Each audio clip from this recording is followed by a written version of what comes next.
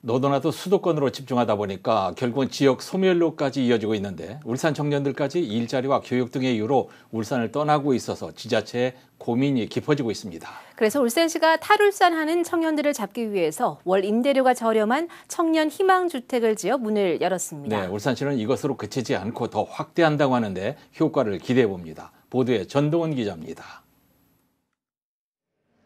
31살 이 씨는 독립을 마음먹었지만 집을 구하는 게 쉽지 않았습니다. 전세 사기 문제가 기승을 부려 전세로 집을 구하기엔 부담이 있었고 울산의 월세도 만만치 않았기 때문입니다. 첫 직장 이제 구한 이후로 독립을 해야 되는데 제가 아무래도 이래저래 보다 보니까 이제 금액이 아무래도 비싸고 울산이 그렇기 때문에 좀 부담이 많았는데 이번에 또 울산시에서 좋은 취지로 이렇게 싼 금액에 이 씨와 비슷한 이유로 청년들이 탈울산 행렬에 오르자 울산시가 청년 희망주택의 입주식을 열고 울산 최초로 청년들을 맞이할 준비를 끝냈습니다.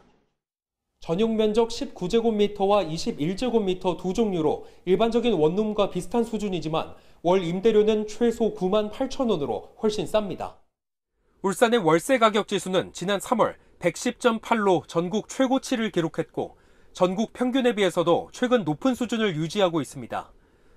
올해 1분기 2030 청년 중 8,000명 이상이 탈울산을 선택한 만큼 울산시는 주거비 부담 완화를 통해 청년층의 탈울산을 막겠다는 계획입니다. 청년 인구 유출이 어, 심화하고 있는데요.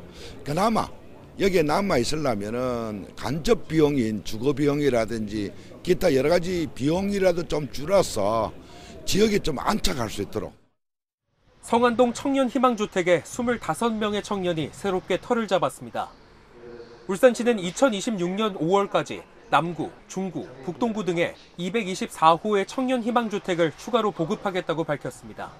JCN 뉴스 전동훈입니다.